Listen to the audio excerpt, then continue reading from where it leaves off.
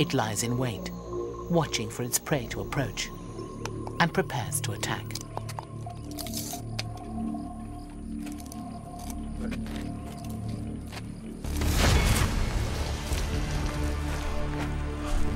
The African rock python has a deadly embrace.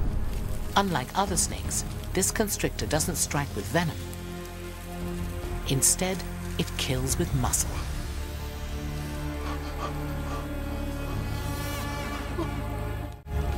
African rock pythons can weigh up to 135 kilograms and grow to over 6 meters, making them among the largest snakes in the world. They live throughout the savannas and forests of sub-Saharan Africa. Already powerful on land, this brawny serpent employs an even more impressive tactic from underwater, where it glides with fluid grace. Ever adaptable, the pythons that live near water thrive on fish.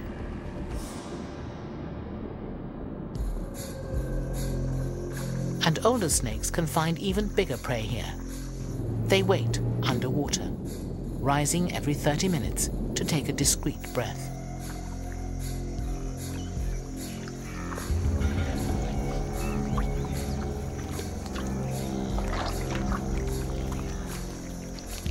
They can spend hours in this coil of tension, waiting for just the right moment to strike.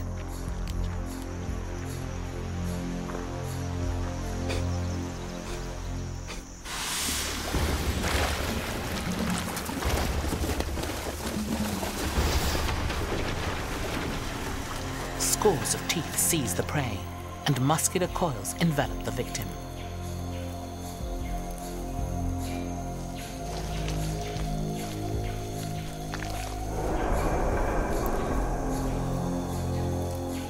Crushed, the springbok is slowly asphyxiated.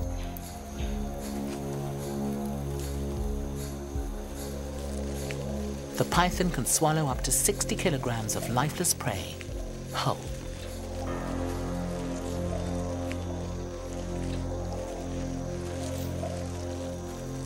After a meal like this, it can fast for more than a year. But even so, it should always be approached with caution.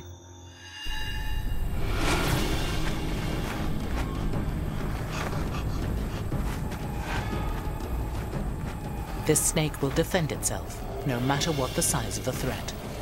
So although pythons rarely eat people, they can still kill us